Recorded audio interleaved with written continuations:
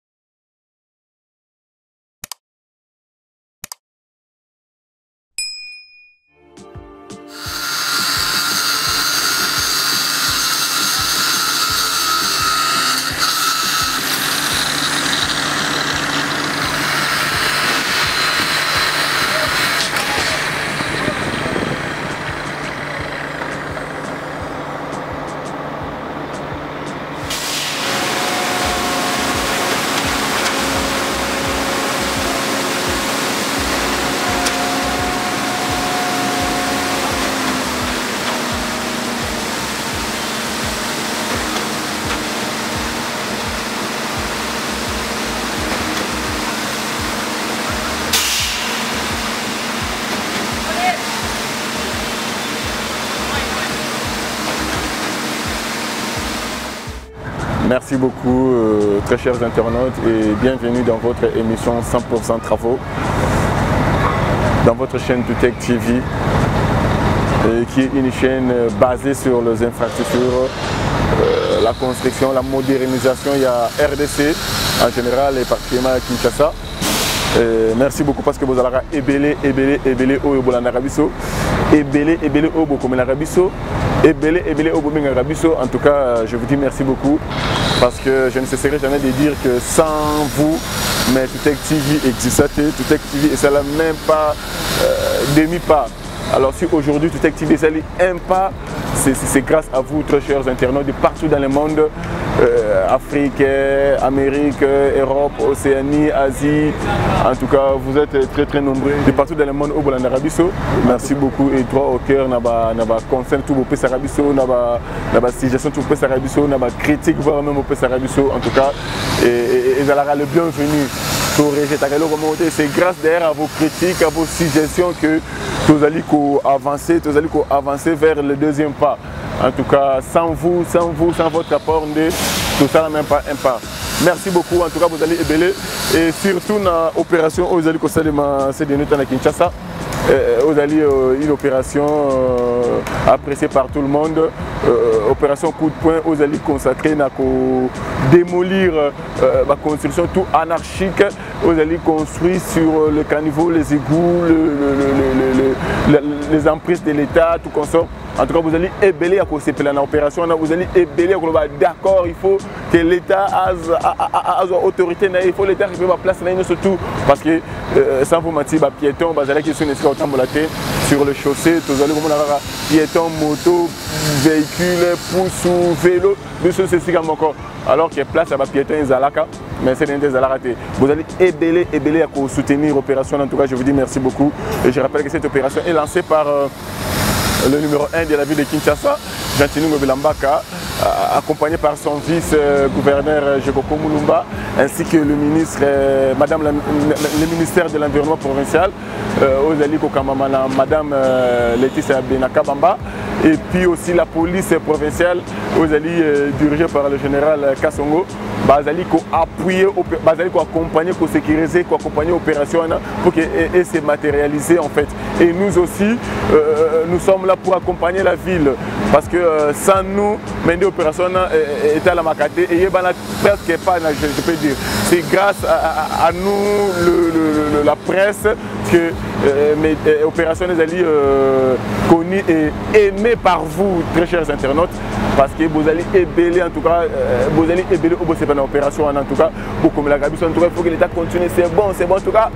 euh, sans, sans, sans vous mentir tozwaka fete biso de, de, de, de notre part totec tv soki tozwi par exemple sur 100 appel oyo ezali contre opération wana ekozala 1 message oyo ezali contre opération wana ezala 1 en tout cas on, on, on suppose que 99 tout le monde est d'accord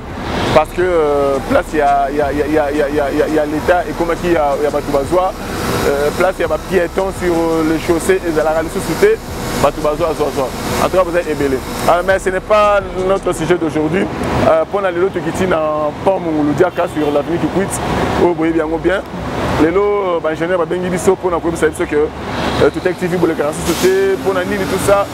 euh, ça fait un temps bozala susu te alors aujourd'hui tozali kokoule euh, euh, voile ya, ya, ya gauche tokulaki ya droite boye te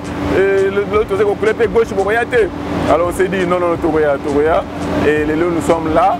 euh, d'ailleurs bomona da nsima na biso boza komona camion wana babenga yango euh, lance béton yango nde ezali euh, ekozwa béton na mixer eye kobwaka na voile place euh, bazali euh, kokule nakanisa d'ici là tokolakisa bino euh, coffrage déjà ya voile côté gauche parce que côté droite signale que si bakula déjà esila déjà ezalaka misala mike mike ya jonction pour que basisa complètement mais aujourd'hui bazali kokule côté gauche c'est ainsi que les ingénieurs babengaki biso toya Et nous sommes là pour euh, euh, couvrir euh, mosala ya lelo côté gauche ya voile oyo bazali kokule je rappelle que esika ngai nazali awa ezali euh, nsima ya, ya, ya, ya, ya deuxième porte ya fikir e liboso na ngai ezali euh, continuité ya, ya, ya, ya kikwit et merci beaucoup à tout à l'heure on se retrouve si pas au milieu de l'émission à la fin avec euh, une interview si pas na la population mais avec euh, l'un des ingénieurs ya chantier awa bakoyebisa biso euh, tobandaki wapi tokomi wapi mpe etikali etikali combien de temps pour que euh, mosala pont oyo esila merci beaucoup et à tout à l'heure vraiment oyo oh, nana yango atiki moto nde mpena en pleine route papa en pleine route otiki no moto ke na yo vraiment ah na pasi hein?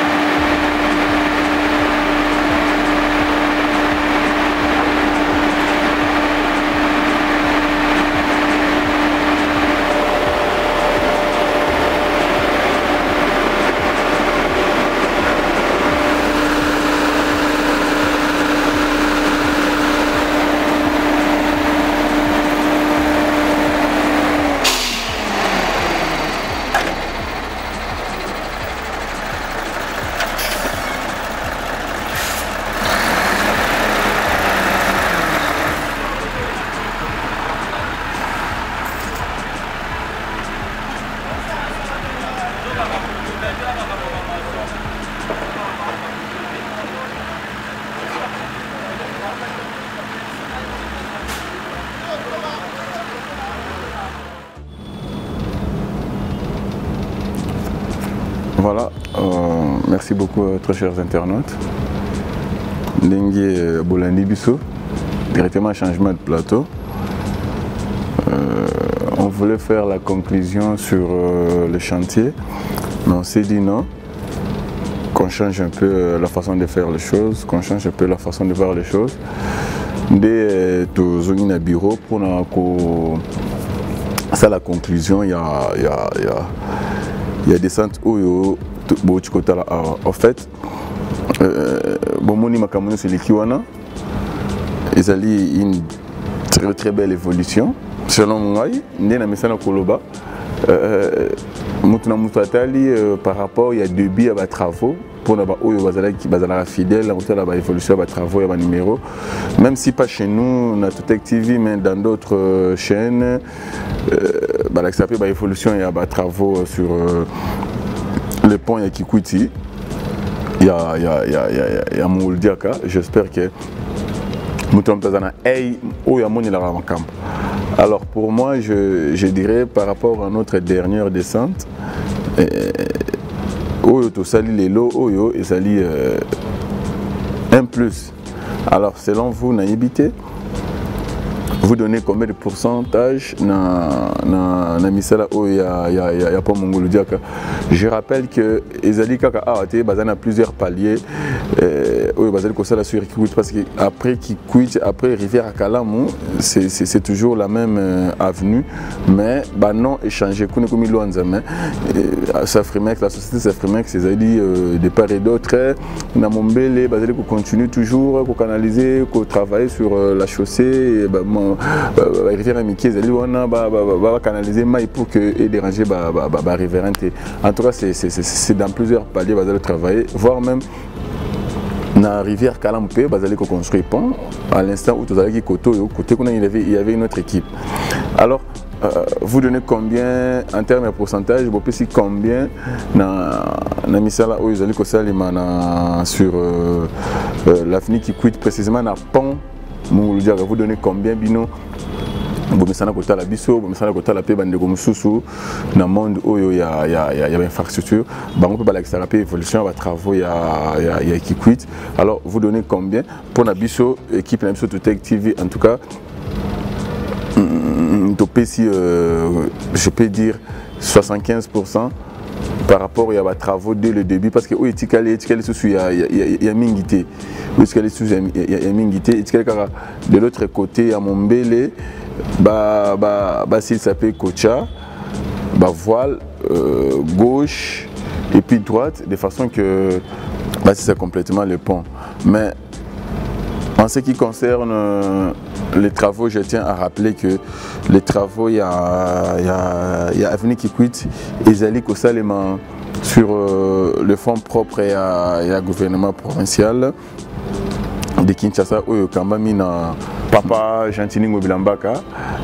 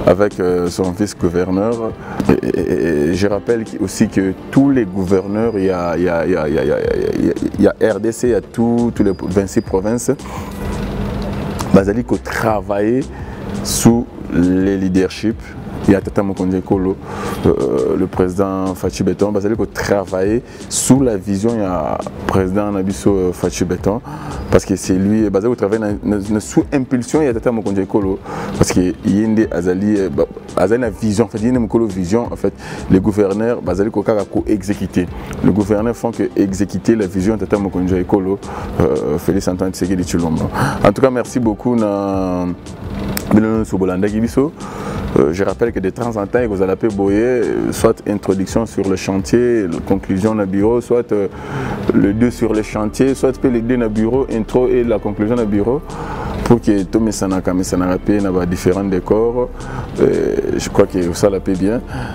Alors, euh, je tiens aussi à rappeler na gouvernement Nabiso que Bandeko ya quartier Ndano, il ne cesse de nous appeler, de nous écrire par rapport à quartier Nabino bien sûr toyebi ete ata mokonzi akenda kotala situation na bango euh, depuis lors jusque là bayebisaka biso babi ata libanga moko te ekotana na quartier na bango donc euh, comment na camion comment na ben c'est c'est c'est c'est trop dur abi ata libanga ata moelon moko te ekotana na quartier na bango est ce que tata mokonzi atiki bango est ce que le gouvernement etiki bango moi je dis non non non non ne répondra bango toujours que le fait que tata mokonzi déjà ayaki c'est déjà écrit quelque part que ndani faut batala yango et effectivement il faut, il faut, il faut au gouvernement atala yango alors c'est juste un rappel Euh, je, si je peux le dire en, en quelque sorte, ils ont un rappel pour la euh, bande de gouvernement central, bien sûr, parce que il faut battre peu bato wana surtout na mikolo mbula ebeti na mois d'avril oyo ezalaka mwa moko euh, bambula ezalaka pambapamba alors s'il faut kotala mpe bandeko wana ezala mpe bien euh, autre coin ya capitale ezali euh, route ya kimbanseki wana en tout cas bato babengaka biso bato bakomelaka biso papa ruta kimbanseke botiki biso papa ruta kimbanseke botiki biso effectivement euh, le gouvernement il faut su batala mpe kote kuna ruta kimbanseke en tout cas bandeko kuna bazali euh, kosinquiéter trop par rapport ya route na bango euh, dernièrement nazalaki wana mais je me suis dit oyo ezali euh, bombo motelekia wato nini babisi biso non non route ezali nango bien mais régie des eaux nde apasoli route na katikati parce que atiaki tuyo no na se régie des eaux atie tuyo na ye à travers la route papapapa ti à plusieurs mètres mais siko banda atiumolaki atie tuyo atika route na na état wana ekoma vraiment impraticable ya bandeko kuna bazali kolela si le gouvernement peut faire quelque chose mpona bato bandeko ya kote kuna na coin wana esala mpe mwa bien alors merci beaucoup sans plus tarder na kotika bino euh, mais na promettre bino que il y a un autre numéro oyo ekolanda euh, dans les heures qui suivent na bokasi ya nkolo tokobalanse bino lisusu un nouveau numéro kaka na chantier euh, na kinshasa na mpo moko monene ezali kotongama na kinshasa tokitaki wana tozwaki bilili par rapport ya évolution ndenge ezali kosalema en tout cas miso na biso emoni ke ya un grand pas c'est quasiment à la fin et tosepelaki mingi on a pris les images le temps que na bandeko na machine kuna ba préparer yango pour que ekoma euh, prête ekomela bino alors merci beaucoup euh, restez connectés à votre chaîne Tutech TV C'est grâce à vous que Tutec TV est là, c'est grâce à vous que Tutec TV continue à exister. Et merci beaucoup Nabino, tout Botel de partout dans le monde, quatre coins au monde, Botel Arabie, beaucoup comme en tout cas, tous à très très très content. Et au prochain numéro pour euh, ce qui concerne les infrastructures dans la capitale de Kinshasa, pourquoi pas en République démocratique du Congo.